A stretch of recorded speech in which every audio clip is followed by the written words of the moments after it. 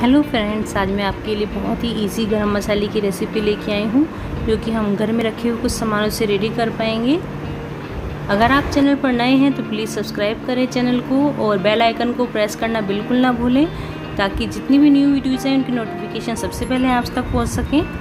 तो चलिए बनाना स्टार्ट करते हैं ये होममेड गरम मसाले की रेसिपी इसके लिए मैंने यहाँ पर six two seven cinnamon stick ली है, जिस दालचीनी बोलते हैं, और फोर टेबल स्पून यहाँ मैंने ब्लैक पेपर लिया है, काली मिर्च यानी कि, और टू टेबल स्पून मैंने यहाँ पर लौंग लिया है, और और ट्वेंटी फाइव मैंने यहाँ पर ब्लैक कार्डेमम लिया है, और फिफ्टी मैंने यहाँ पर ग्रीन कार्डेमम लिया है। और ये जावित्री है, देखिए इजीली मार्केट में मिल जाता है, ये मैंने टू पीस के करीब ले लिया है, आप इतना ही लें।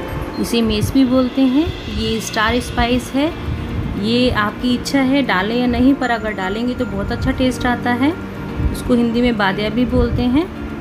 और यहाँ पर मैंने फोर टेबल स्पून ही क्यूमिन सीड्स लिया यानी कि जीरा लिया है और एक नटमैग लिया है, जिसे जायफल बोलते हैं।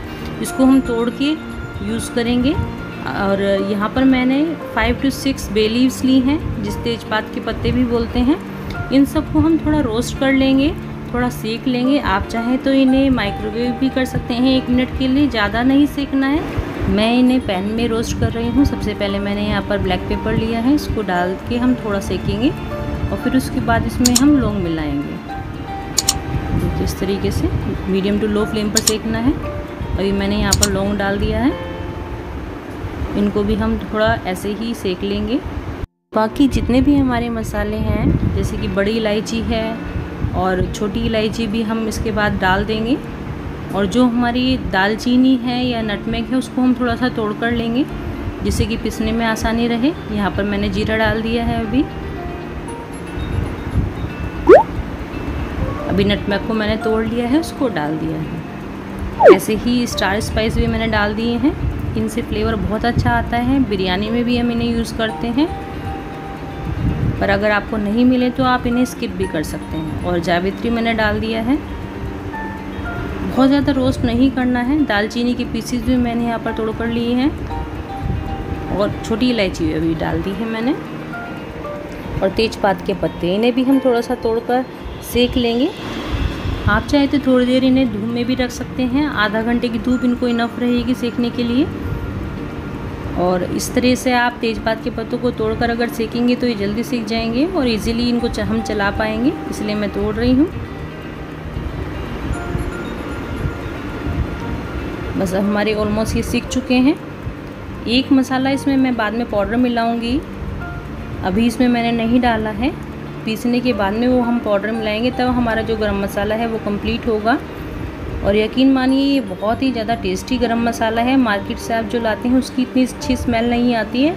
इसका अरोमा अभी से आने लग गया है। इतना टेस्टी अरोमा और इतना फ्लेवरफुल हो जाती है हमारी कोई भी डिशेस में हम डालते हैं।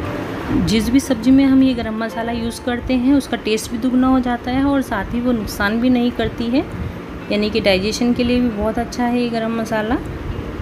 देखिए रोस्ट हो चुके हैं। अभी हम गैस ऑफ़ कर देंगे और इन्हें ठंडा करके हम मिक्सर ग्राइंडर में पीस लेंगे। अभी सारे मसाले मैं अपने ग्राइंडर में डाल रही हूँ। और फिर इसको हम बिल्कुल बारीक पीसेंगे। और अगर आपकी मिक्सी में बहुत ज़्यादा बारीक नहीं पीस रहा है तो आप उसे छान भी सकते हैं। देखिए, अब मैं इसे थोड़ी देर के लिए पीस लेती हूँ। देखिए, पिस चुका है हमारा मसाला और कितना बारीक पिसा है, आप देख सकते हैं। अभी लास्ट इंग्रेडिएंट मैं इसमें डाल रही हूँ, जो कि है सौंठ पाउडर ये मैंने टू टेबल स्पून लिया है। इसे भी इसके अंदर डाल के एक बार और मैंने चला लिया है मिक्सी को। और देखिए कितना महीन पीसा है। इसी तरह से आपको पीसना है। अगर आपको लगता है कि बहुत बारीक आपकी मिक्सी में नहीं पीसा है तो आप उसे छान लें। और देखिए कितना अच्छा अरोमा आ रहा है इस मसाले से और कितना टेस्टी लग रहा है देखने से ही। आप किसी भी वेजिटेबल में से डाल को इंजॉय कर सकते हैं। और अगर आपको ये मेरी वीडियो थोड़ी भी हेल्पफुल लगी है तो प्लीज़ लाइक करें शेयर करें और कमेंट करें और अपने फैमिली फ्रेंड्स के साथ में इसे ज़रूर शेयर करें। तो चलिए एक बार फिर इसी तरह की ईजी और यूज़फुल रेसिपी के साथ आपसे मिलती हूँ। तब तक के लिए goodbye friends thanks for watching